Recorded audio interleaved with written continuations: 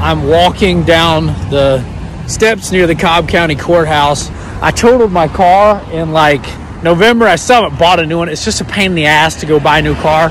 And I've been getting around via Uber, scooter, one wheel, and other types of transportation.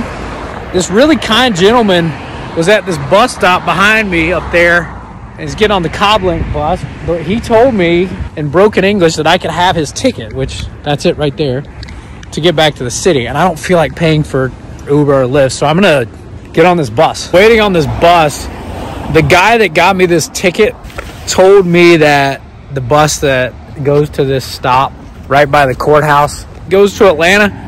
But what he may have meant was there was a transfer point that I have to get off the bus at. So my last video was about bus ride in Costa Rica. Might have something to do with the infrastructure or something else. But people just don't take the public buses as much in a lot of major American cities, including Atlanta. So this will be an experience for me, someone that, that has been lucky enough to have a car most of his adult life. So I've gone online and figured out what 15 IB looks like and 45 IB. I think they both go to the Marietta Transfer Center, which would be the place I'd find a bus for Atlanta, I think. But if I stay on one, it goes to like Vinings, which is not in the middle of Atlanta. It's just barely in Atlanta proper. And then the other one goes like into Vinings and then out around Atlanta. So I'm going to have to switch buses or get off this one in Vinings. Bus is taking forever today. And I called the, the customer service number to find out where I can track the bus. I downloaded the app. It looks like it shows the route, but not where the bus is. So I'm going to call it a day here. I got an Uber ride, and I'll do this again tomorrow. The Uber wait time was like 30 minutes. So I decided I didn't want to wait. And I've started walking about 10 minutes ago. So I've walked about a mile now, and I'm GPS my house. It's about 15 miles away from my original starting point and about 14 from where I am now, right across from the Cobb Civic Center. Got to get across the road now to get Ubers and Lyfts. Taxes and driver fees they have to pay now they didn't before. It's less of a deal. I could rent a car, fill it with gas, and return it in one day for less than I could just get uh, Uber ride back and forth from where I went and have no access to a car. All right, so I figured out that the Cobb Transit Transit Center is actually a mile from where I was. Check in here because it might be worth finding out if there's a bus to Atlanta. It looks like on the map, like four of the buses go to Atlanta, but only one of them does. And it wasn't there, and I didn't want to wait. Maybe that's maybe that's what's driving this walking and transportation situation, other than wrecking my car a couple months ago. I've passed two bus stops that probably been the right bus stops to get on the bus that would take me to town, but I'm still walking. I've been walking now for about 40 minutes. It's an adventure nonetheless, and what is this channel if not an adventure channel, right?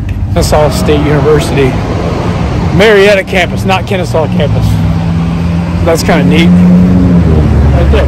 That's student housing and everything. It's amazing how all we have to do is go outside of the confines of places that we visit daily to kind of get a sense of how people lead very different lives from ours. There's probably something in our, I'm theorizing here, I don't really know what I'm talking about, but there's probably something in our DNA or our genes that urges us to get out to go see how another person with a totally different life lives. I don't know, maybe it's we start to feel safer when we know no matter what happens, we can survive in any environment. I actually love giving myself a chance to be in a different environment and figure out whether, find out whether I can make it. There are environments, I'm sure, that I would not make it in. Clearly, I made it on the bus after about two hours of walking. The right bus stopped while I was at the right bus stop. So I took the ticket that the gentleman gave me, put it in the ticket slot by the driver, acted like I knew what I was doing, and he let me on. It was a very normal and peaceful bus ride, probably more peaceful than a lot of the bus rides I've taken, where riding the public bus is more common among people of all demographics and socioeconomic classes. I'm not suggesting anything by that statement. I'm just telling you what's true in the United States, particularly in Atlanta.